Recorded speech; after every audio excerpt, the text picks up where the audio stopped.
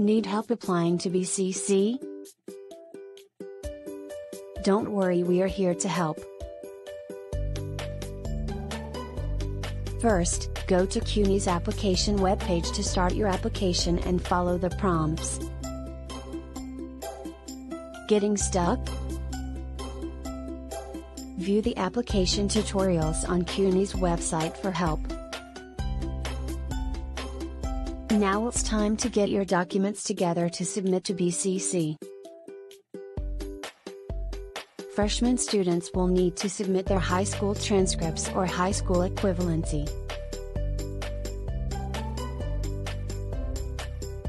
Transfer students will need to submit their official college transcripts from all previous colleges attended and may need to submit high school transcripts as well.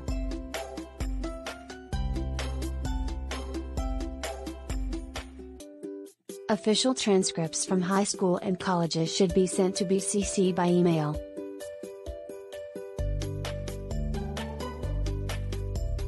If your school doesn't offer electronic transcripts, don't worry. Just call or email us and we will help you.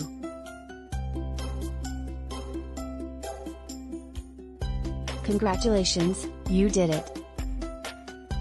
Check your email daily, you'll receive your admissions decision very soon. Thanks for applying.